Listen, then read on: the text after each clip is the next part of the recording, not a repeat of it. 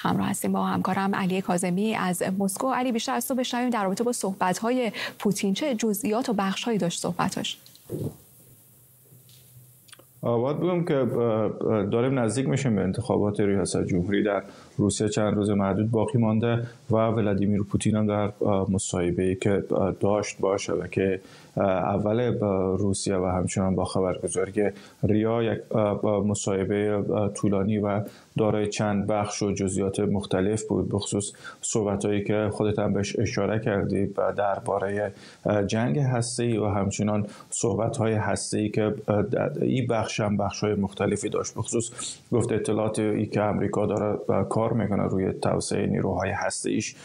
معنیش این نیست که بیای فردا و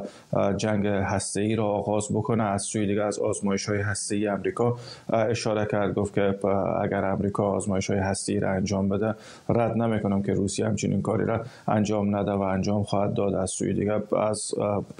ازش پرسیده شد در عملیات نظامی ویژه. روسیه در اوکراین احتمال استفاده از سلاحهای هسته ای است گفت تا فعلا چنین چیزی نبوده و در گذشته نبوده و هنوز ما نمی‌بینیم که بخوایم از استفاده بکنیم. ولی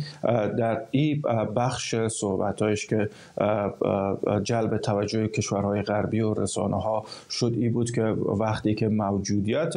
روسیه در خطر باشه و هر حرف موجودیت روسیه باشه احتمال استفاده از سلاح هسته خیلی زیاد است و روسیه آماده است تا از سلاح های خودش استفاده بکنه که صحبت آقای ولادیمیر پوتین بود در صحبت شب گذشتهش و همچنان در مورد موضوعات